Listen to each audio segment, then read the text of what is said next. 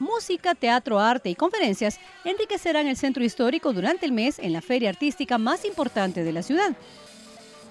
La decimosexta edición del festival denominado Caminemos por el Centro es organizado por la Municipalidad, el Ministerio de Cultura y Deportes, la Universidad de San Carlos y el Inguat. El proyecto cuenta con alrededor de 150 actividades, dentro de las que destacarán la cultura, talleres y conferencias, visitas guiadas por el centro, entre otras cosas que creen un vínculo colectivo y motiven al público a que recorra el lugar. El festival busca promover la convivencia ciudadana y la expresión artística. Este se llevará a cabo del 7 al 16 de noviembre.